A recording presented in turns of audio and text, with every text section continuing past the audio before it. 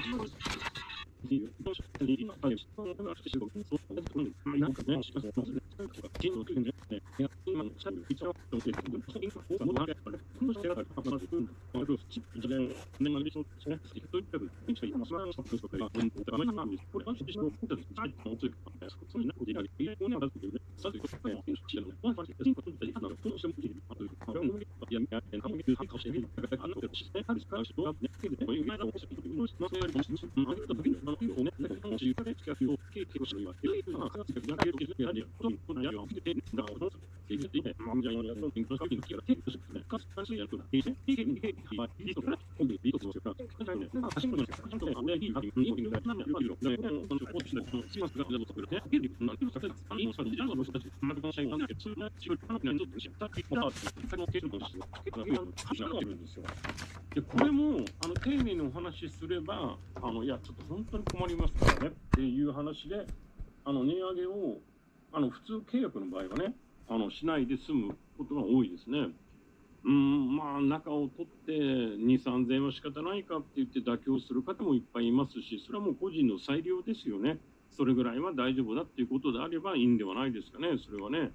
まあ、それと、あと、まあ、賃貸で、まあ、異変というのは、外国の方が多くなってきています。急激に増えてます。だから、気がつかない間に、両脇をね、両方、左の部屋と右の部屋に挟まれている部屋を借りてるとするじゃないですか。